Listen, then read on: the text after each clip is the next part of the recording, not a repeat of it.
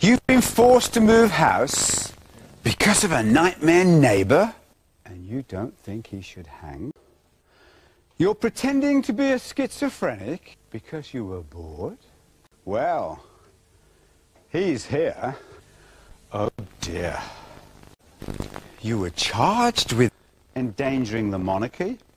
Actress Claire Sweeney blames your father for her kidney infection.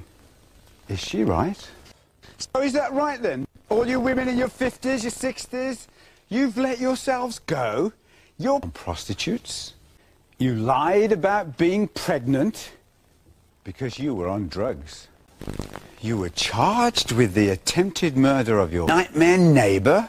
You spent £10,000 and 10 years going through the courts to get access to Prince Charles.